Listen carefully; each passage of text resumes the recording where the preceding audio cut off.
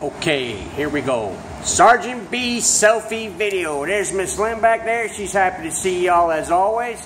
Listen, man, we had a great month of May and April for that matter. I want to give a shout out to some folks, man.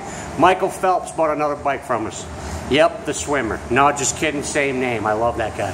Holden, Kelvin, uh, Henry in, in, Virginia took possession of that awesome Indian we had. Uh, Robin, Becky, Chris got a cool Gixxer. Kim and Pez down in um, down in uh, Palm Bay. Mary Hester in Georgia bought a bike. Okay, so I want to say give a shout out to them folks. Uh, listen, more importantly, listen. Memorial Day weekend, y'all. Let's not forget what Memorial Day weekend's all about. Okay, while you're enjoying, you know, the cookouts, the kids, the family, swimming in the pool, having a nice cold drink. Remember, if it wasn't for the veterans, men and women who served and, and fought and died for our country, we wouldn't, we wouldn't be able to have any of that, y'all. So listen, let's not lose sight of that. Don't drink and drive. Don't make me come get you, okay? But listen up, man. We um, we're excited. Sergeant B's is rocking and rolling. We have all y'all to thank.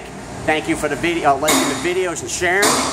Um, we want your business, y'all. Come on down to South Hopkins in Titusville and uh, see what we got, man. The bikes are lined up out there, as you can see.